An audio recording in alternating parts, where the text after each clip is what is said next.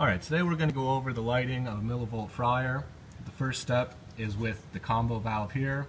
You'll have a three position knob. You'll have off, on, and pilot. Once you have that knob in the pilot position, you'll hold that in and then simultaneously while holding that button in, you'll ignite your pilot assembly at the top of the unit. Once you have flame at the pilot assembly, you're going to continue to hold in the button on the combination valve for about 30 seconds until it warms up the thermopile enough.